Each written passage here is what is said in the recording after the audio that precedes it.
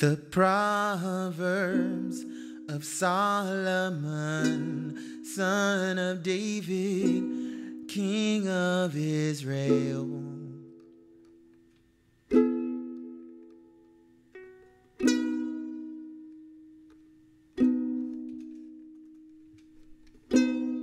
For gaining wisdom and instruction, for understanding words of insight, for receiving instruction in prudent behavior, doing what is right and just and fair, for giving prudence to those who are simple, knowledge and discretion to the young. Let the wise listen and add to their learning, let the discerning get guidance for understanding proverbs and parables, the sayings and riddles of the wise.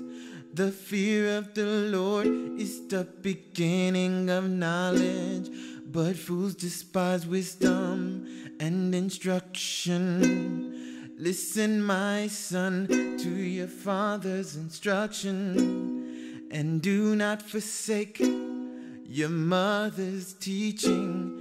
They are a garland to grace your head and a chain to adorn your neck. My son, if sinful men entice you, do not give in to them if they say, Come along with us.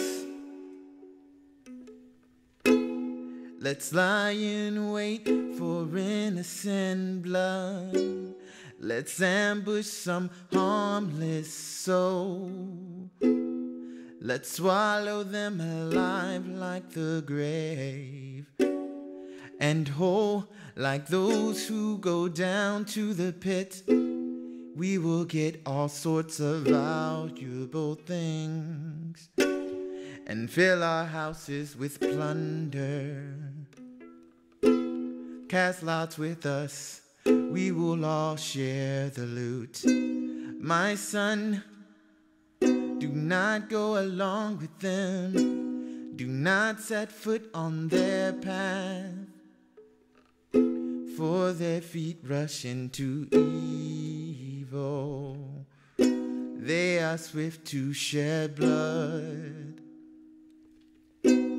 How useless to spread a net where every bird can see it. These men lie in wait for their own blood. They ambush only themselves. Such are the paths of all who go after ill gotten gain. It takes away the life of those who get it.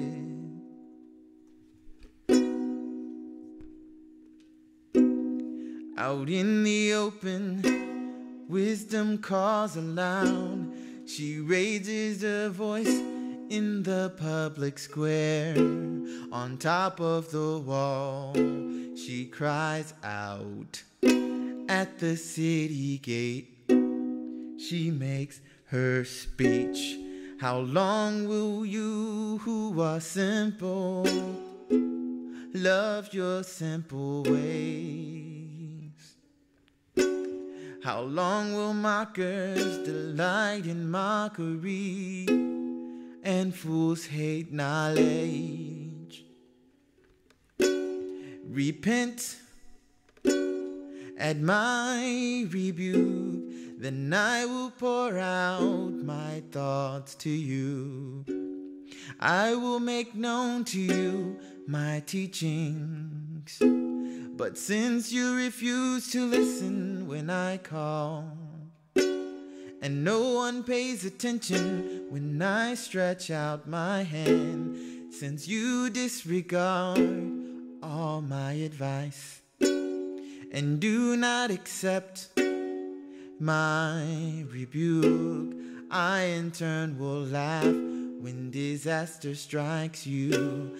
I will mock when calamity overtakes you. When calamity overtakes you like a storm. When disaster sweeps over you like a whirlwind. When distress and trouble overwhelm you. Then they will call out to me but I will not answer. They will look for me, but will not find me, since they hated knowledge and did not choose to fear the Lord, since they would not accept my advice and spurned my rebuke. They will eat the fruit of their ways and be filled with the fruit schemes. For the waywardness of the simple will kill them, and the complacency of fools will destroy them. But whoever listens to me will live in safety and be at ease without fear.